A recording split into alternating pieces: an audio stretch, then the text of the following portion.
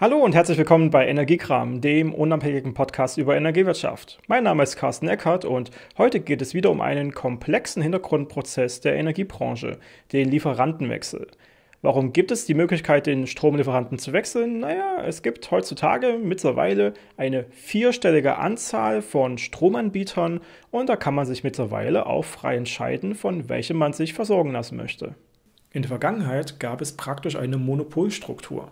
Das heißt, es gab große Energieversorger und Stadtwerke und je nachdem, wo ich gewohnt habe, war ich automatisch in einem bestimmten Versorgungsgebiet und konnte gar nicht auswählen, wer mich versorgen sollte. Und das ging warum? Die Energieunternehmen waren ja praktisch Eigentümer der Stromnetze, der Leitungen, über die die Energie geliefert wird. Und damit konnten sie sagen, ja, es ist mein Stromnetz und deswegen darf auch nur ich hier versorgen. Da lasse ich keinen anderen rein. Diese Situation entsprach natürlich nicht gerade einem freien Markt, einem freien Wettbewerb, sodass sowohl die Bundesrepublik als auch die Europaebene beschlossen hat, den Markt zu liberalisieren. Das hat konkret bedeutet, dass die Unternehmensstruktur der Energieunternehmen aufgebrochen wurde. In einerseits die Versorgungsseite, also den Energielieferanten, mit dem ich als Endkunde einen Vertrag abschließe, und auf der anderen Seite den Stromnetzbetreiber, also das Unternehmen, was diese Stromnetze besitzt, unterteilt wurde. Heute ist die Situation also diese, dass diese Stromnetzbetreiber diskriminierungsfrei jedes Unternehmen gleichberechtigt Zugriff auf diese Stromnetze ermöglichen müssen. Damit kann natürlich prinzipiell jedes Energieversorgungsunternehmen potenziell jeden Kunden deutschlandweit versorgen, wenn ein entsprechender Vertrag abgeschlossen wird. Warum sollte man einen Vertrag mit einem bestimmten Energielieferanten abschließen?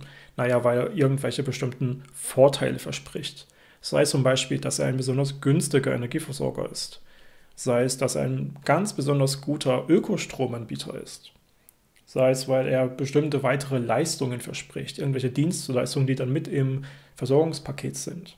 Oder sei es einfach nur, dass er ein besonders etablierter Versorger ist, dem ich ein besonderes Vertrauen schenke, zum Beispiel dem Stadtwerk bei mir vor Ort. Nun entscheide ich mich also, meinen Energieversorger zu wechseln, schließe so einen Vertrag ab und dann denke ich, das sollte jetzt eigentlich ganz einfach gehen. Tatsächlich lauert dort ein äußerst komplexer Hintergrundprozess, der definitiv an vielen Stellen schiefgehen kann. Als Endkunde habe ich jetzt also einen Vertrag abgeschlossen, indem ich das zum Beispiel auf dem Online-Portal meines neuen Energieversorgers eingegeben habe. Dieser Energieversorger nimmt jetzt die Daten des Kunden, also Name, Adresse, Stromzählernummer und meldet an, dass er jetzt der neue Versorger dieses Energiekunden ist. Das meldet er beim Stromnetzbetreiber. Der Stromnetzbetreiber prüft jetzt, hm, gibt es da aktuell schon einen alten Versorger? Also ist der Kunde im Moment schon bei einem bestimmten Energielieferanten? Wenn das der Fall ist, muss jetzt noch eine Meldung an den alten Versorger gehen. Ganz im Sinne von, hey, hier hat sich ein neuer Versorger angemeldet. Ist das denn in Ordnung? Geht der Kunde denn bei dir? Hat er gekündigt oder hast du ihn gekündigt? Der alte Versorger prüft das jetzt und meldet dann zurück, ja, nein, vielleicht. Entsprechend dieser Meldung wird der Lieferantenwechselprozess jetzt entweder erfolgreich durchgeführt oder es gibt immer noch Probleme, die geklärt werden müssen. Zum Beispiel zwischen dem alten Versorger und dem neuen Versorger.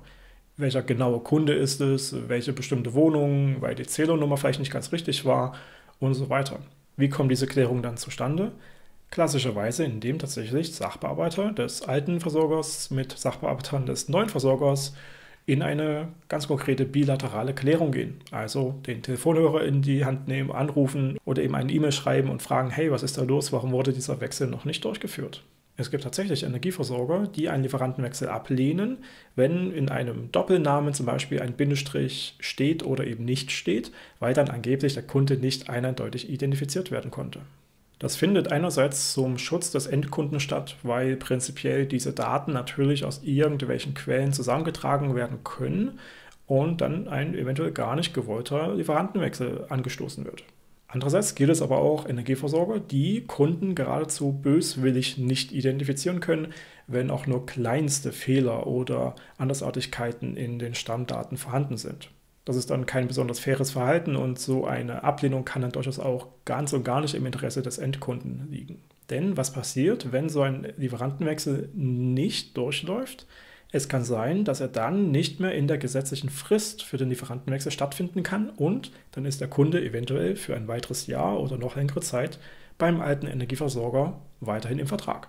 Der klassische Wechsel vom alten Energielieferanten zum neuen Energielieferanten muss mit mindestens zehn Werktagen in der Zukunft gemeldet werden. Das heißt, klassischerweise sollte man so einen Wechsel mal mindestens mit einem Monat Vorlauf bei seinem neuen Energielieferanten anmelden. Auf was sollte ich also achten, wenn ich meinen Energieversorger wechseln möchte? Ich muss auf jeden Fall die richtigen Kundendaten zusammentragen. Das heißt, ich schaue am besten auf meine letzte Stromrechnung oder auf meinen Stromvertrag und finde dort im Regelfall so etwas wie eine Zählpunktnummer oder eine Marktlokationsnummer. Und mit der kann meine Lieferstelle ganz ein eindeutig identifiziert werden dann stellen sich die meisten Probleme mit der Identifizierung des konkreten Kunden gar nicht mehr. Wenn wir nun in der Zukunft mehr und mehr Smart Meter eingebaut bekommen, ist es wahrscheinlich möglich, dass so ein Lieferantenwechsel geradezu automatisch und ohne weitere Hürden stattfinden kann. Weil nämlich prinzipiell alle Daten auf diesem Smart Meter gespeichert werden und über ein Gateway automatisiert an alle Marktpartner versendet werden können. Damit gibt es eigentlich keine Gefahr mehr der Verwechslung oder der unvollständigen Daten. Darüber hinaus können diese Smart Meter eventuell, je nachdem welche Technologie dazu noch mit verbaut wird, von ganz alleine erkennen, ob hier gerade ein neuer Mieter eingezogen ist und dementsprechend eine Auszugsmeldung, eine Einzugsmeldung stattfinden muss, oder ob der Kunde gerade einen neuen, besonders interessanten Tarif irgendwo gewählt hat und kümmert sich dann eben von ganz alleine darum, den Lieferantenwechsel stattfinden zu lassen. Wenn es so kommt, ist der Wechsel in Zukunft noch deutlich einfacher und dementsprechend wird der Wettbewerb um den Endkunden natürlich noch mal dramatischer. Energieversorger werden noch mit ganz neuen Angeboten darum werben, dass man sich von ihnen versorgen lässt. Das kann zum Beispiel bedeuten, dass mein Energielieferant mir in Zukunft auch noch eine besondere Smart Home Infrastruktur anbietet oder irgendwelche anderen Geschäftsmodelle, die zum Beispiel mit den sogenannten Non-Commodity Produkten zu tun haben das ist zum Beispiel ein äh, Speicher, ein Energiespeicher für meinen Keller oder das ist eine Photovoltaikanlage fürs Dach oder das ist eben eine besondere Smart Home Infrastruktur, die ich dann auf dem Smartphone steuern kann. Ja, und das bietet er mir eben an und deswegen ist er für mich besonders attraktiv und dann lasse ich mich eben gerne von ihm versorgen.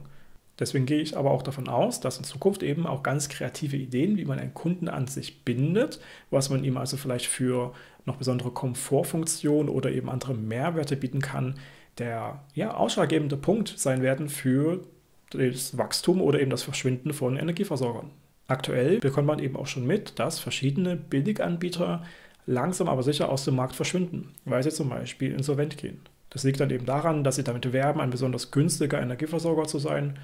Wenn sie dann aber eben nicht besonders günstig an die ursprüngliche Energie kommen, weil sie die zum Beispiel an der Börse einkaufen müssen und dabei haben sie dann eventuell mal keinen guten Preis erwischt, dann können sie sich eben das ganze Geschäft nicht mehr leisten und gehen dementsprechend insolvent. Deswegen gehe ich eher davon aus, dass es in Zukunft darum geht, welche breiten Angebote und weiteren Geschäftsmodelle bietet mir mein Energieversorger. Ist er eben ein zu 100% zertifizierter grüner Ökostromanbieter? Bietet er mir mehr Komfort oder hat er zum Beispiel technologische Vorteile, von denen ich dann eben partizipieren kann? Und dementsprechend würde ich aus diesen Gründen zu ihm wechseln. Wer mehr über die regulatorischen Hintergründe des Lieferantenwechsels erfahren möchte, der kann sich das GBKE anschauen. GBKE steht für Geschäftsprozesse zur Kundenbelieferung mit Elektrizität und ist ein Dokument, welches von der Bundesnetzagentur veröffentlicht und weiterentwickelt wird. Dort werden die verschiedenen Prozessabläufe, die Schnittstellen und die Verantwortlichkeiten sehr genau aufgezeigt. Habt ihr schon mal einen Lieferantenwechsel durchgeführt? Was waren die Gründe dafür, dass ihr den Stromlieferanten gewechselt habt? Schreibt das doch mal in die Kommentare. Und wenn ihr noch irgendwelche Fragen habt oder Anmerkungen, dann schreibt ihr genauso gut dort rein sein. Und wenn euch das Video gefallen hat, gebt mal einen Daumen nach oben. Und das soll es für heute gewesen sein. Mein Name ist Carsten Eckhardt und bis zum nächsten Mal bei Energiekram.